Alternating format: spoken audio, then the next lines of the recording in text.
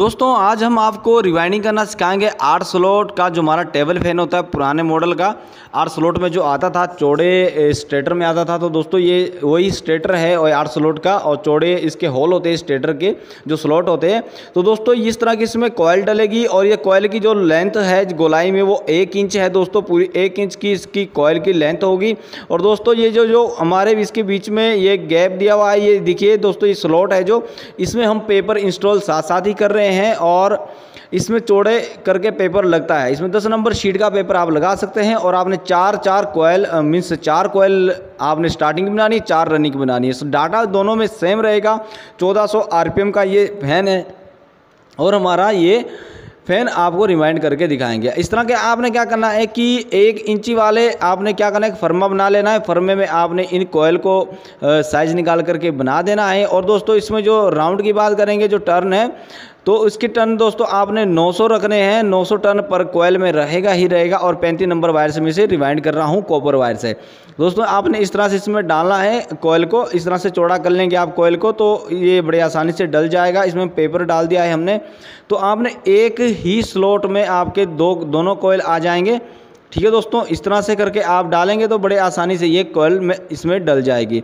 आपको ये रिवाइंड करने के लिए दोस्तों ज़्यादा मेहनत की भी इसमें आवश्यकता नहीं होती क्योंकि छोटा कॉयल बनता बड़े आसानी से बन जाता है और थोड़ा डालने में थोड़ी प्रॉब्लम यह आती है कि जो दूसरे साइड के जो कॉयल है, उसके साथ हमने अटैच करके डालना होता है तो आपको वहाँ पर थोड़ी प्रॉब्लम आ सकती है। दोस्तों हम इस तरह से इसको डालेंगे और ये बड़ी आसानी से इसमें डल जाएगा। दोस्तों, एक बार दोबारा से मैं बता देता हूँ इसकी डाटे की बात। तो इसका डाटा आपको लास्ट स्क्रीन में दे दूँगा। इसके मेन जो क्या है दोस्तों, इसके कनेक्शन होते हैं। कनेक्शन में ज़्यादातर आदमी उलझ जाता है और कनेक्शन जो है वो मैंने लास्ट में आपको स्क्रीन शॉट आप ले सकते हैं। मैंने वीडियो के बीच में भी इसका फ़ोटो डाल रखा है एक, जो कि इसके कनेक्शन का फ़ोटो है। आप उसका कनेक्शन किस तरह से करेंगे? ठीक है दोस्तों, इस तरह से मैंने यहाँ पर यह डाल दिया तो इसका भी मैं इसके अंदर डाल लेता हूँ। दूसरे, तीसरे कोयल को भी। दूसरे के साथ। अब इसके आगे से आगे दोस्तों, इसी तरह से सारे के सारे हमारे कोयल जो है, वो डलेंगे। और इसके जो राउंड है पर कोयल का, उसमें 900 राउंड हमने डाले हैं, एक इंची कोयल बना करके राउंड में। और दोस्तों, इसके जो आठ कोयल है आठ कोयल में से इसके चार स्टार्टिंग के हो गए और चार रनिंग के हो गए वीडियो थोड़ा लंबा है, पर आप देखते जाइए, आपको मज़ा आएगा वीडियो देखने में, सीखने में। यदि सीखने के शौकीन है आप तो वीडियो स्किप करके ना देखा करें, क्योंकि कुछ इन्फॉर्मेशन मैं वीडियो के बीच में भी दे देता हूँ तो आपको वहाँ से भी इन्फॉर्मेशन ले लेनी चाहिए और वीडियो को स्किप नहीं करना चाहिए। तो मैं वीडियो थोड़ा फास्ट कर देता हूँ, ये कोयल को डाल देता हूँ, फिर आपको दिखाता हूँ। इसको डालने के लिए दोस्तों आपको ज़्यादा मेहनत करने की ज़रूरत भी नहीं है, क्योंकि ये आसानी से इसमें डल जाते हैं, क्योंकि अलग अलग स्लॉट होते हैं दोस्तों। तो खुले इसके स्लॉट होने के कारण भी इसमें बड़े आसानी से ये डल जाता है। तो आप यदि नहीं डल रहा है आपका दूसरा कोयल तो आप एक लकड़ी की फट्टी ले लीजिए, बाँस होता है, बाँस का फट्टी ले लीजिए, उससे आप इस तरह से उसको आगे पहना करके इस तरह से आप आसानी से इसमें डाल सकते हैं। ठीक है दोस्तों? यदि आप थोड़े थोड़े कोयल को, मीन्स थोड़ी थोड़ी तारों को डालेंगे तो बड़े आसानी से ये डल जाता है। और दोस्तों, ये थोड़ा छोटा होता है इसका साइज़ तो थोड़ा काम करने में थोड़ी प्रॉब्लम तो आती है, परंतु ये जब बन जाएगा पंखा तो आपको बहुत ही अच्छा फील होगा अच्छा लगेगा। यदि आप नए नए इलेक्ट्रिशियन हैं नए नए रिवाइंडिंग सीख रहे हैं तो दोस्तों, हमारे चैनल को सब्सक्राइब करके रखें, क्योंकि रिवाइंडिंग से रिलेटेड और इंडक्शन रिपेयरिंग से related D D free dish से रिलेटेड आपको मेरे ही चैनल पर जानकारी मिलती रहेगी और आप अच्छे से काम सीख पाओगे, अपना अच्छा रोज़गार कर पाओगे। तो दोस्तों, हम इसके ऊपर डाल देते हैं दस नंबर शीट का। ये सेपरेट पेपर तो इसको पेपर को लगाने के लिए आप इस तरह थोड़ा इसको दबा लें और ये अच्छे से इसमें डल जाता है। और दोस्तों, जो कोयल है कोयल के बीच में भी हमारे अलग अलग कोयल है, उसके बीच में भी हम पेपर को डालेंगे ताकि कोयल आपस में शॉर्ट ना हो। तो दोस्तों, मैं इसको फटाक से कर लेता हूँ और रिवाइंड करके आपको दिखा देता हूँ पूरी तरह से कि रिवाइंड करने के बाद आपको किस तरह से दिखेगा। इसी तरह से आपने सारे कोयल एक के ऊपर, एक एक के ऊपर, एक चढ़ाते हुए आपने आगे सारे के सारे कोयल डाल देने तो चार कोयल रह गए, चार कोयल फिर मैं डाल देता हूँ। ये देखिए दोस्तों, इस तरह से आपने ये कोयल डालने के बाद आप रिवाइंड कर देंगे तो आप बहुत ही अच्छा लगेगा। कनेक्शन की बात भी दोस्तों इसमें करेंगे हम। अब देखिए दोस्तों, ये हमने इसके बीच में भी पेपर डाला हुआ है। ये दस नंबर की अपना पीवीसी पेपर इसमें डाला है ताकि कोयल आपस में शॉर्ट ना हो, क्योंकि ये हीटअप भी होते हैं कई बार, और इंसुलेशन वीक होने के कारण क्या होता है वायर इसका शॉर्ट हो जाता है तो ये पूरा पूरा पंखा शॉर्ट हो जाता है, एक कोयल भी नहीं निकलता बाहर, और पूरा हमें रिमाइंड करना पड़ता है। ये देखिए दोस्तों, हर कोयल के दो दो हमारे सिरे निकल के आए तो आठ दूनी सोलह हमारे ये सिरे इसके वायर के निकल के आए मेन प्रॉब्लम है दोस्तों, यही आती है कि कनेक्शन उल्टा सीधा हो जाता है तो आपका पंखा जल्दी से वर्क नहीं करता और जल जाता है। इससे बचने के लिए दोस्तों, हम आपको एक तरीका बताएँगे अच्छे से। तो हमने क्या करना है दोस्तों, हर एक कोयल को छोड़ के, एक कोयल को छोड़ के हमने चार कोयल के सिरे हमने बाहर को कर लेने हैं, ठीक है दोस्तों? और चार कोयल के सिरे हमने अंदर को कर लेने हैं। देखिए, ये आठ कोयल है हमारे। तो आठ में से हमने क्या करना दूसरे कोयल को। अगले से दूसरे कोयल के हमने क्या करना है? मीन्स एक कोयल को बीच में छोड़ के आप कहीं से भी ले सकते हैं। तो आपने क्या करना है? अंदर को कर देने हैं और आठ चार कोयल के सिरे आपने मतलब कि आठ सिरे आपने बाहर कर देने। तो हमने ये देखिए, जैसे इस तरह से बाहर कर दिया तो हम इसको बाहर कर देंगे। इससे अगले वाला सिरा ये है तो इससे हम इस तरह से अंदर कर लें। बड़े आसानी से आप कनेक्शन सीख पाओगे, ठीक है? और उसके बाद दोस्तों, आपने क्या करना है कि ये हमने दो बाहर कर लिए, इससे अगले वाले दो सिरे हमने अंदर कर लिए, ठीक है? अब इससे अगले वाले भी हम सभी को हम इस तरह से अंदर रख लेंगे और कुछ को हम बाहर रख लेंगे, चार को अंदर रख लेंगे, चार के सिरे को हम बाहर रख लेंगे। अब देखिए हमारे पास ये वाले सिरे यहाँ बच जाते हैं। चार दुनी आठ हमारे पास यहाँ पर वायर निकल के आगे हैं कनेक्शन वाले तो हम इसे किस तरह से करेंगे? ठीक है दोस्तों? इसको करने के लिए सबसे आसान तरीका है, आपने जिस तरह से मंदानी की मोटर रिवाइंड की है, आपने उसी तरह से करना है। चार स्टार्टिंग के बनेंगे और चार रनिंग के बनेंगे, ठीक है?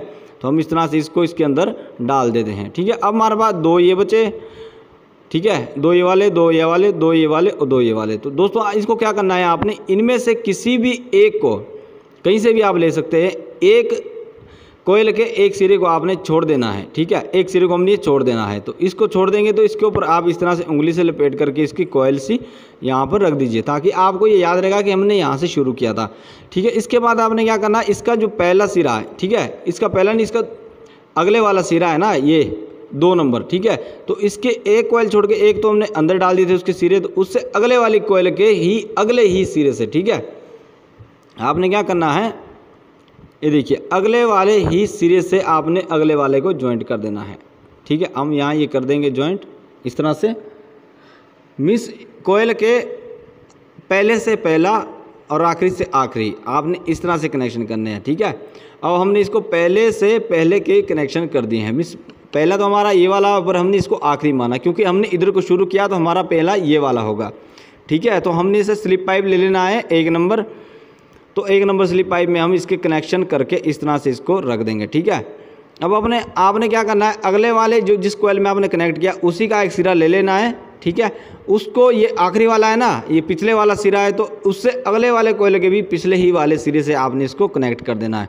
इस तरह से मीन्स अगले से अगले वाला कनेक्ट करना है और पिछले से पिछले वाला सिरा आपने कनेक्ट करना है, ठीक है दोस्तों? तो आप इस तरह से इसको कनेक्ट कर देंगे।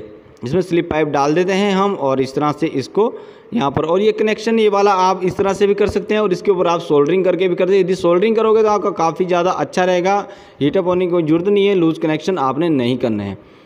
आपके पंखे की लाइफ बहुत ज़्यादा बढ़ जाएगी। अब देखिए, इसका पहले वाला बचा तो इसके पहले वाले सिरे से हम इसको कनेक्ट कर देंगे। तो हमारे पास कुल दोस्तों क्या होगा कि हमारे पास दो सिरे बाहर छूट जाएँगे। कौन से वाले? आखिरी आखिरी वाले, ठीक है? तो हमारा भाई आखिरी आखिरी वाले सिरे इसमें छूट जाएँगे। मैं इसको कनेक्ट कर देता हूँ। एक नंबर स्लिप पाइप डाल करके इस तरह से आपने इसको लगा देना है और इसको कनेक्ट आपने कर देना है। तो ये हमारे पास एक ये छूटा है आखिरी वाला सिरा और एक ये सिरा हमारे पास आखिरी वाला छूटा है। दो सिरे हमारे स्टार्टिंग के छूट गए हैं। चाहे आप इसको स्टार्टिंग बनाओ, चाहे आप इसको रनिंग बनाओ। मैं इसको स्टार्टिंग ही बनाना चाहूँगा। इसके बाद अंदर वाली वायर का भी दोस्तों इस तरह से ही आपने कनेक्शन करने हैं।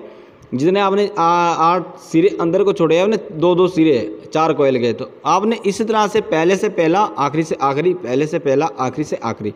इस तरह से आपने कनेक्ट कर देने हैं कोयल के सिरों को, ठीक है? इसको कनेक्ट करने के बाद दोस्तों, क्या है कि मैं आपको दिखा दूँगा और इसको फटाक से कर दें देखिए, दो स्लिप पाइप मैंने डाल दिए हैं कनेक्शन के लिए ताकि याद रहें कि कौन सा कहाँ से आया है, ठीक है? नहीं तो ये याद नहीं रहता दोस्तों कि आपका ये स्टार्टिंग था, ये रनिंग था, आप सीरीज़ लैम्प से भी इसे चेक करके देख सकते हैं, ठीक है? तो हम इसी तरह से इसके कनेक्शन भी कर देंगे। तो मैं इसके कनेक्शन फटाक से कर देता हूँ, फिर आपको दिखाता हूँ आगे।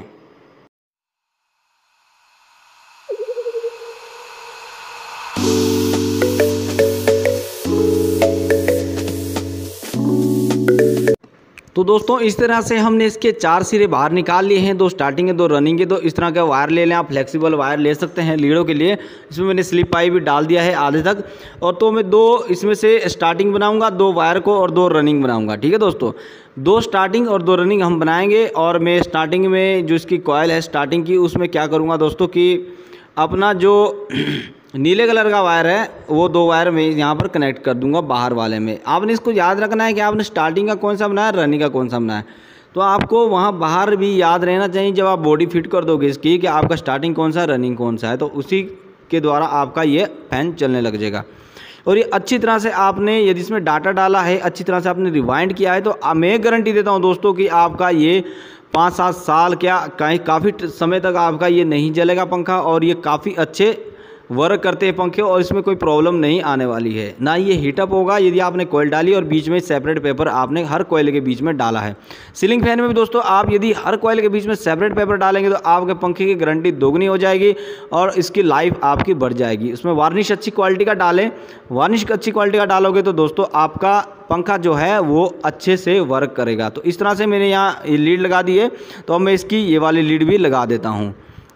ठीक है दोस्तों, अभी फटाफट से मैं लगा देता हूँ, फिर आपको दिखाता हूँ। तो देखिए दोस्तों, मैं यहाँ पर इसको नीले वाली लीड यहाँ पर भी कनेक्ट कर देता हूँ, जो कि मैंने स्टार्टिंग की कोयल बनाई है।